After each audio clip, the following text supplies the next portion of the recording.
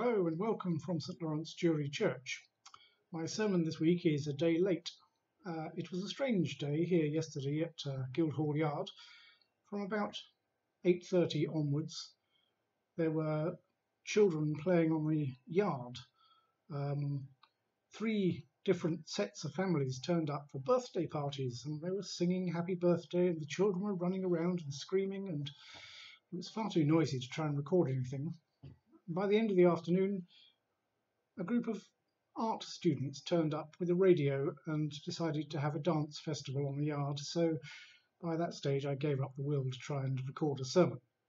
So here we are on Monday morning, trying to actually catch up with my weekly sermon. One of the two Bible passages for this week is from Romans chapter 6. Go and have a read of Romans chapter 6. It's an amazing passage. It uses all sorts of Bible language about sin and righteousness, about slavery and freedom. But ultimately, it ends up talking about sin. The wages of sin is death, but the free gift of God is eternal life. In our sort of sanitized version of Christianity in the 21st century, we get a bit squeamish about the idea of sin.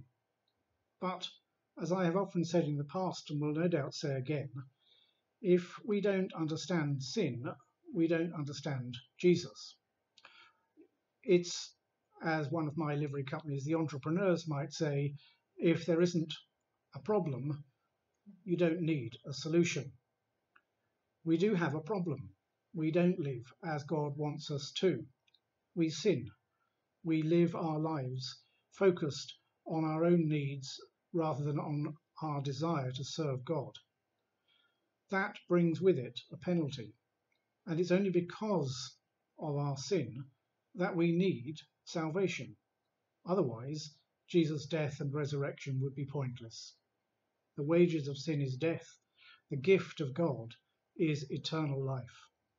As we continue through this lockdown period, as people begin to relax and enjoy themselves again as family and friends, as we make contact with people who perhaps we haven't been in touch with for some time, we are also reminded that we need to make contact with God.